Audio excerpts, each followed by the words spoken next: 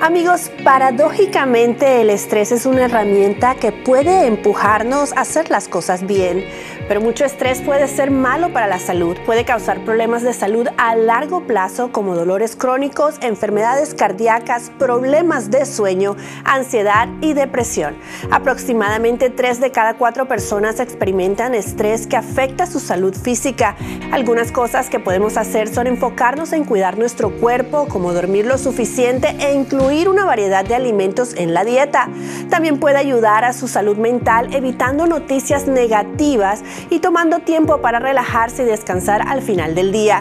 Si está luchando contra el estrés en su vida, su médico puede ayudarle a descubrir las herramientas necesarias para manejarlo.